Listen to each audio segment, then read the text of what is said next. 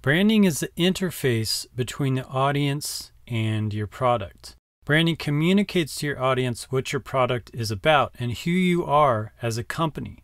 Your brand is often the first thing that people see when they see your product. So it's their introduction to you. And it informs the way that they perceive and the way that they use your product. It actually shapes their experience. But branding doesn't just exist in a vacuum. It's not simply the way that your product or your company communicates with the outside world, it's the interaction between your company and your product and the outside world.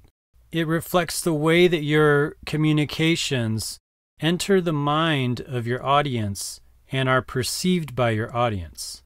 So your brand isn't just a logo or a font or a color scheme, it's who you are. It's how other people view your company and they view it as if it were a person. So, the sort of instant, quick way that we can attach and feel like we understand people is similar to the instant, quick, intuitive way that we can attach and understand brands. So, in that sense, branding is an affinity that people have about your company. It's a vague understanding of who you are as a business, what you represent, and why you exist. It's also an abstract connection. So, it's this gut feeling that we have about a company, and it's difficult to articulate. And that's why it's a form of art.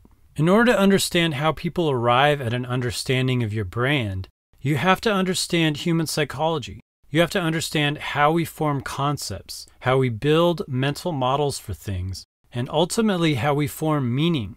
You have to understand how humans build a representation of the world, how they understand the world and you have to understand universal human values because tapping into these common values is the quickest way for an audience to understand who you are. But you can't simply ask people what their values are. You can't simply ask them what motivates them or how they form meanings.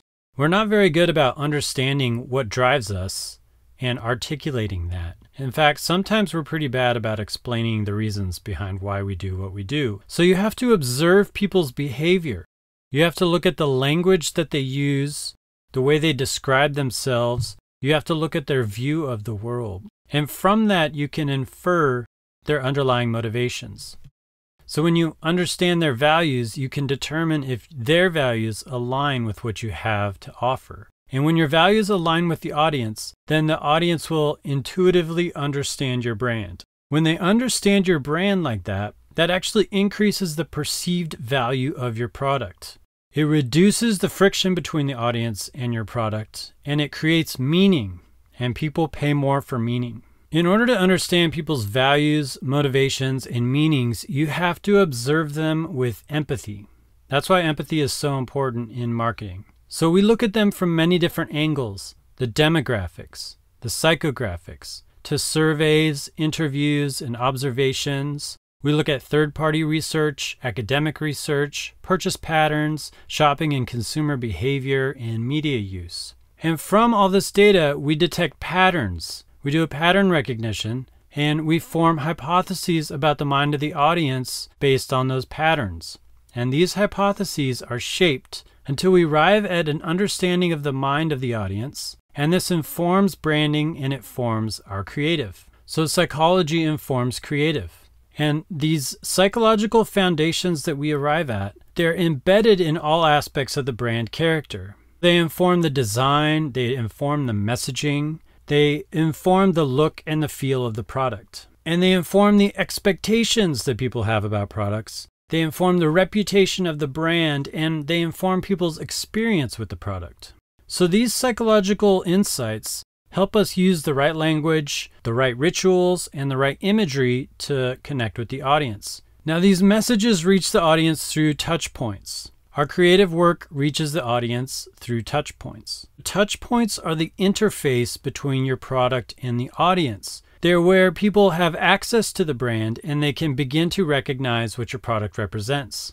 And these include television advertisements, digital advertisements, social media advertisements, print ads, out of home pieces like billboards, as well as real life and digital experiences. The audience's attitudes and values need to be considered when they get exposed at these different touch points.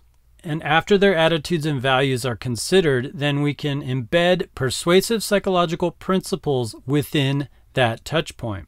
These psychological principles are aligned with the specific behavioral events surrounding that touch point, and it leads to new users, repeat users, brand loyalty, and trust. So, considering the mind of the audience, and the details of the touch point increases the psychological connection between the brand and the audience. It builds affinity for your product and it drives behavior change.